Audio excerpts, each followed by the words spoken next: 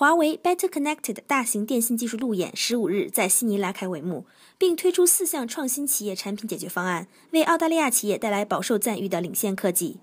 华为本次发布的四项产品分别为高端存储设备幺八零零零系列、eLTD 无线宽带产品、适合分支机构的 Micro DC 微型数据中心和 S 幺二七零零敏捷园区交换机等。华为澳大利亚首席技术官彼得罗西表示，随着新的创新型企业技术解决方案的推出，华为澳大利亚的产品线进一步丰富，澳大利亚本地企业也将得到更多的选择机会。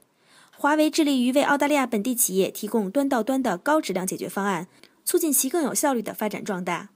据了解，过去十年中，华为在全球范围内投入两百四十亿美元进行研发，全球排名前五十的电信运营商中有四十五家采用了华为提供的电信解决方案。